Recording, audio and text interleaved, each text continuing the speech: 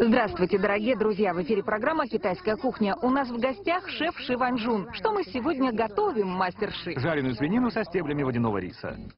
Молодые стебли цицании или водяного риса не только богаты питательными веществами и укрепляют организм, но и являются низкокалорийным продуктом с высоким содержанием воды. Частое употребление цицании улучшает состояние кожи. Сегодня с цицанией мы будем жарить мясо. Кроме нее нам понадобится спиральный кустарниковый перец, мясо с прожилками сала, соевый соус и рисовое вино. Вот это и есть стебель водяного риса. Сейчас как раз их сезон. Почистите его. Поняла? Посмотрим, как вы это сделаете. А разве их не так чистят? Давайте, давайте. Разве не так? Я не могу его чистить, когда вы на меня смотрите. Правильно? Да. Этот стебель какой-то не такой. Вы можете нарезать цицанию как угодно. Если хотите упростить процесс, можете нарезать полукругом. Если хотите сделать все по правилам, тогда надо нарезать вот на такие кусочки. Это очень просто. Видите?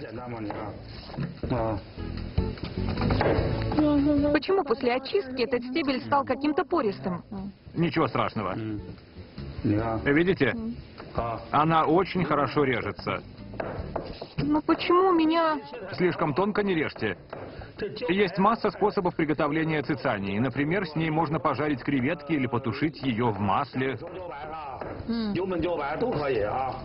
В масле ее тушат примерно таким же способом, как и бамбук. Да, это очень знаменитое блюдо. Только там ее надо нарезать перекатыванием, а не так, пластинками. Потом ее обжаривают в масле до золотистого цвета. Иногда, как вы только что сказали, в этих стеблях бывают пустоты. Еще в них могут быть темные точки. Это не страшно. Сами по себе стебли водяного риса по структуре напоминают губку. Да, на самом деле они практически полые внутри. Точно. У стебля, который я только что почистила, очень слабенький кончик. Если тушишь его в масле, это не важно. Просто нарежьте головку перекатыванием, обжарьте и все. Пластинки мы уже нарезали. Да, нам еще надо нарезать спиральный перец. Мастер Ши, а мы будем бланшировать цицанию. Вообще ее надо подольше обжаривать в масле, но мы сделаем это быстренько. Дома можно просто жарить. Я чуть позже скажу об этом. Стебли водяного риса после бланшировки становятся очень мягкими, так как в них много воды. Наше блюдо это только испортит. Мы их просто слегка обжарим. Просто обжарим без Да, обваривания. видите, это у меня спиральный перец, его надо отбить. Вы его сначала отобьете, а потом будете резать? Да, посмотрите, каким он стал мягким. А в чем плюс этого? Он так будет вкуснее и легче напитается другими вкусами. Понятно. После того, как мы закончили с перцем, можно нарезать лук, имбирь и чеснок, а в самом конце мясо. Хорошо, я положу этот перец в чашку. Имбирь для этого блюда обычно нарезают небольшими пластинками. Вы же сейчас именно так и режете. Да, в провинции Хунань в это блюдо кладут много имбиря. Лука они мало добавляют, а вот имбиря много. У них там влажность большая, Да, поэтому они едят много имбиря. А мы можем добавить немного лука. да, немножко можно добавить. Чеснок хунаньцы пластинками не режут. Они его давят. Не давят, а отбивают, когда это они его давили. Они вот так делают. Видите? Так он хорошо напитается остальными вкусами. Когда так отбиваешь чеснок, из него выделяется сок. Да, и он потом напитается вкусами. Да. Видите? Какой крупный сам по себе чеснок. Да, у него крупные зубчики. Чеснок мы нарезали. Теперь осталось мясо. Если вам не нравится жирное мясо, вы можете разбавить его постным мясом, взять половину жирного и половину постного мяса. Можно просто взять филе и все. Да. Режем этот кусок. Вообще, по-моему, в ресторанах хунаньской кухни не особо переживают по поводу того, чтобы добавить чуть больше постного мяса. Хунаньцы любят мясо пестрых пород свиней, поэтому... Это полосатая свинина? Нет, пестрых свиней еще называют отечественными земляными. То есть мясо этих свиней. Оно вкусное. И не такое, как у тех, которых специально откармливают. Цицания очень полезна для здоровья. Точно. Оно сочетается и с мясом, и с овощами. Мы добавим к ней спиральный перец, в нем много витамина С. По-моему, вы уже достаточно мяса нарезали. Так, с мясом мы закончили. Да, все. Вы сказали, что стебли водяного риса мы отваривать не будем, а будем сразу их обжаривать. Тогда я включаю плиту, пусть нагревается.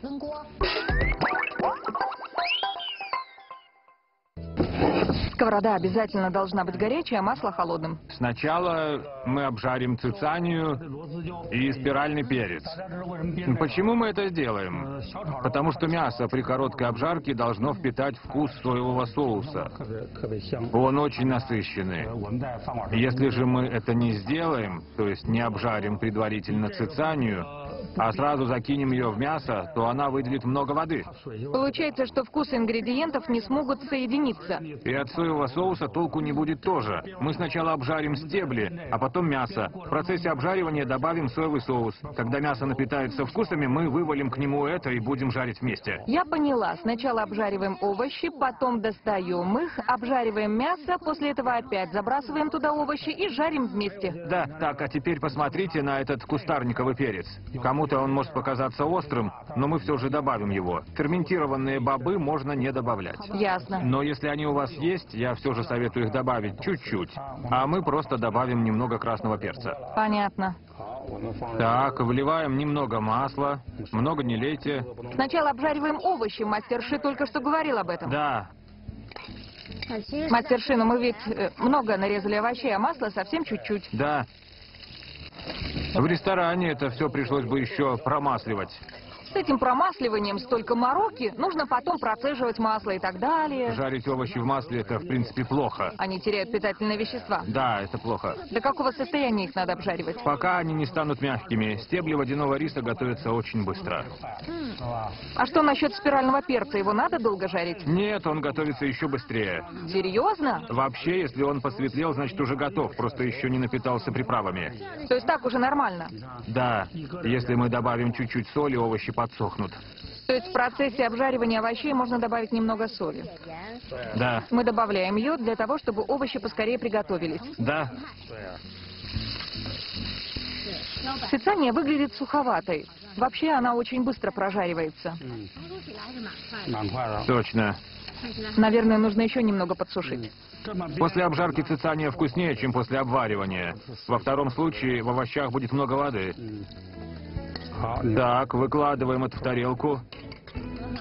Овощи мы уже прожарили. Видите, они у нас уже готовые. Да, уже чувствуется аромат цицании. Сейчас будем обжаривать мясо. Ни в коем случае не перелейте масло. Обжаривать мясо надо правильно. Как именно? Следите за тем, что я буду делать. У мяса сейчас очень резкий запах. Почему блюда в ресторанах такие вкусные и в то же время не слишком жирные?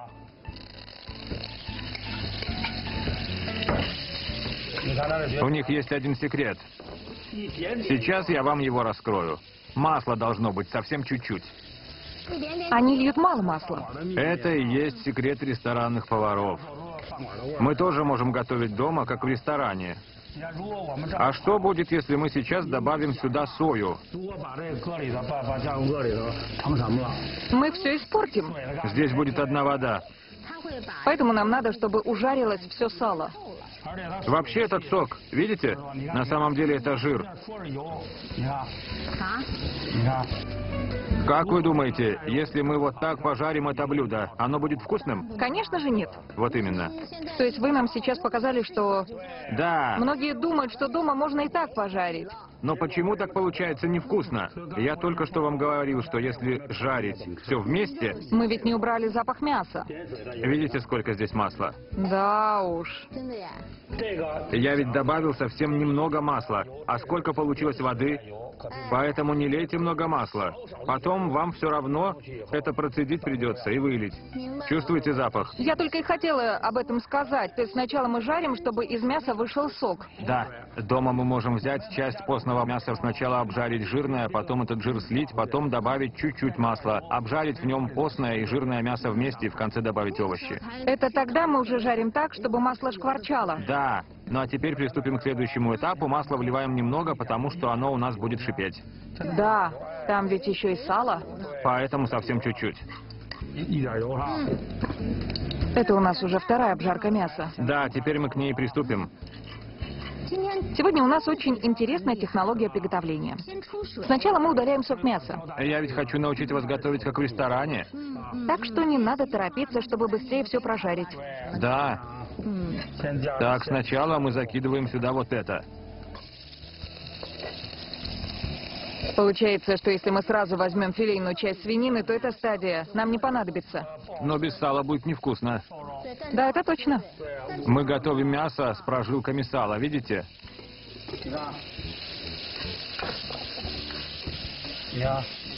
Но сала уже нет. А мясо не пригорает. Да, закидываем красный перец. Oh, Сейчас надо ждать, пока из мяса выйдет жир. Добавляем рисовое вино и соевый соус. Я его пролила. Ничего страшного. Посмотрите, теперь на цвет мяса. А соус лаучоу добавлять не надо? Чуть позже.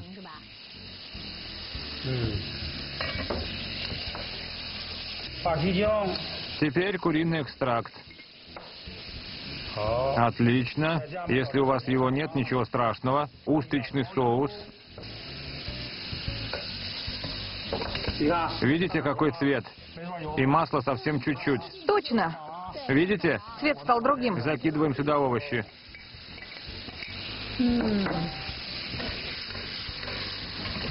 Сейчас их уже можно обжарить вместе. А вообще уже можно готовиться выкладывать блюдо. Главное, не передержать его. Да, давайте тарелку. Оно у нас уже готово. Видите? Все. Как вкусно пахнет. С ферментированными бобами было бы еще лучше. Да. Жареная свинина со стеблями водяного риса. Правильно, добавьте ростки чеснока, будет свинина с ростками чеснока, добавьте редьку, будет свинина с редькой. Шучу. С корневищем все-таки будет вкуснее. Да, это очень вкусно. Точно. Оно хорошо идет к рису, вся страна это любит. Теперь вся страна будет его еще готовить. Точно. Лично меня сегодняшний рецепт удивил тем, что мясо мы обжариваем в два захода. Да, иначе останется запах. Точно. 对，А теперь давайте вместе повторим рецепт этого питательного блюда. Прежде всего почистите стебли водяного риса и нарежьте их ромбиками. Отбейте спиральный перец и нарежьте его на кусочки. Тоненько нарежьте мясо и мелко порубите кустарниковый перец. Влейте в сковороду масло. Когда оно нагреется, обжарьте в нем цицанию и спиральный перец. Как только овощи станут мягкими, посолите их, перемешайте и выложите на тарелку. В другую сковороду влейте немного масла, закиньте мясо и обжаривайте его до тех пор, пока из него не выйдет сок. После этого мясо необходимо процедить. Снова влейте в сковороду немного масла, забросьте в нее лук, имбирь и чеснок и начинайте обжаривать мясо. Добавьте красный перец, рисовое вино, соевый соус, куриный экстракт и устричный соус. После этого закиньте овощи и обжарьте еще немного, перемешивая.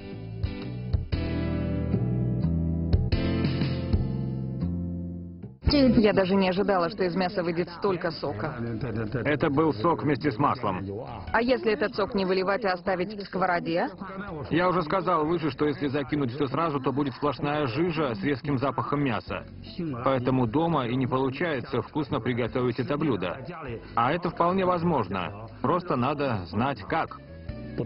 Потому что дома мы жарим один раз. Да, моя дорогая, потому что мы жарим один раз. Обязательно запомните этот важный момент. Такие советы редко где услышишь. Кроме этого блюда, вы для нас приготовили еще кое-что. Да, Тогда давайте послушаем мастера Ши еще раз. Сегодня в рубрике «Лакомые советы» мы расскажем вам, как готовить нежный и питательный омлет.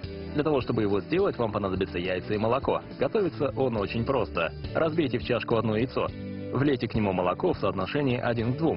Тщательно перемешайте, снимите сверху пузырьки и закройте пищевой пленкой. Когда из пароварки пойдет пар, поставьте в нее пиалу с омлетом и готовьте его на сильном огне 8 минут.